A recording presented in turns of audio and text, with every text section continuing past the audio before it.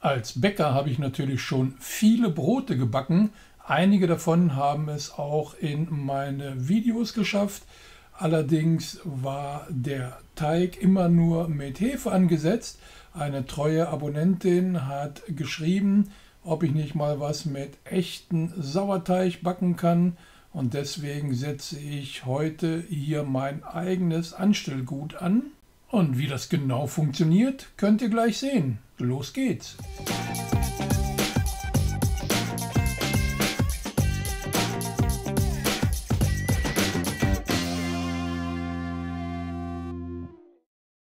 Hier seht ihr meine Utensilien, die ich benutzen werde.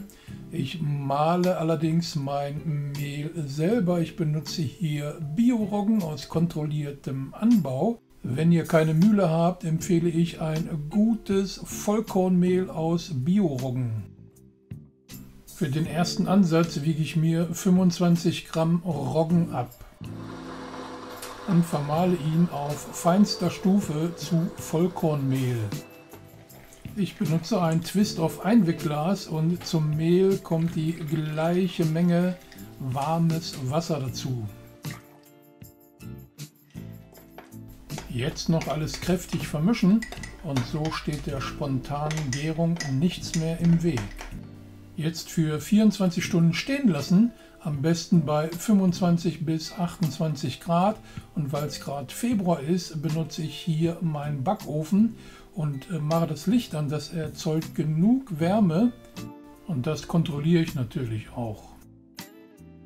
Nach den ersten 24 Stunden hat sich noch nicht allzu viel getan, das ist aber auch völlig normal. Am zweiten Tag die gleiche Prozedur.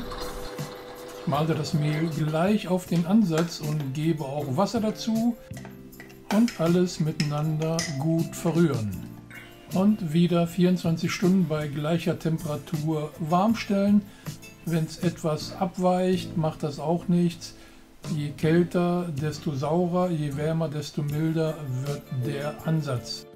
Am Morgen des dritten Tages kann man anhand des Gummirings deutlich sehen, das Volumen hat sich verdoppelt.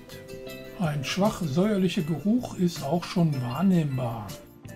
Damit die entstandenen Milch- und Essigsäurebakterien nicht so dominant werden und die Hefepilze unterdrücken, ändere ich jetzt das Mischungsverhältnis.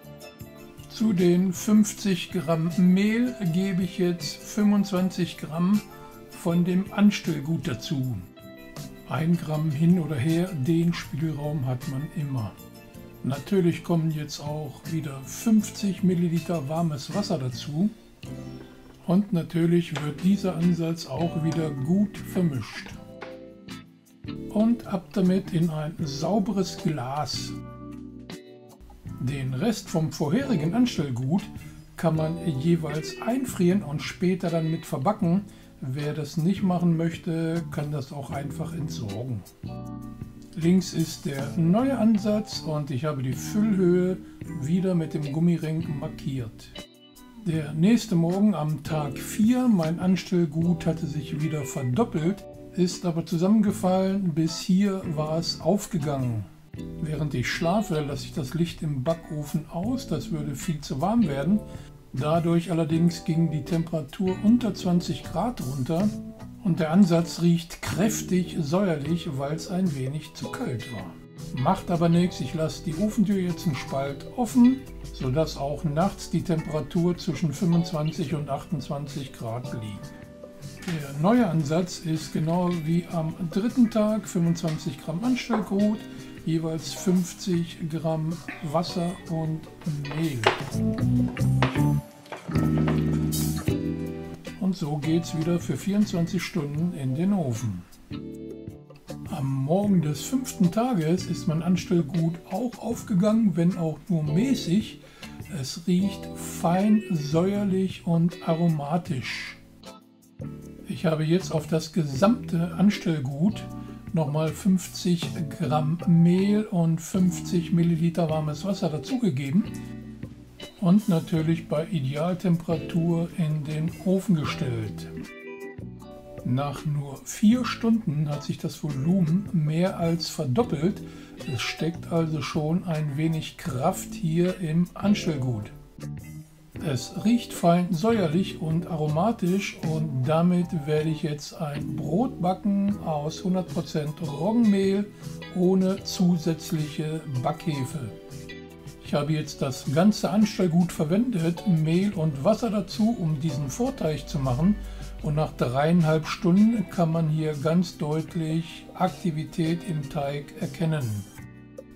Von diesem Vorteig habe ich mir jetzt 30 Gramm abgenommen, mit jeweils 30 Gramm Mehl und Wasser aufgefrischt und so wird mein Anstellgut von Tag zu Tag immer kräftiger. Und genauso sieht es auch am Morgen des sechsten Tages aus. Mein Anstellgut hat sich verdreifacht. Das Brot ist auch super geworden, aber darum geht es in diesem Video nicht. Ich werde ein eigenes Video machen, wie ich aus dem Anstellgut ein super leckeres Brot backen werde.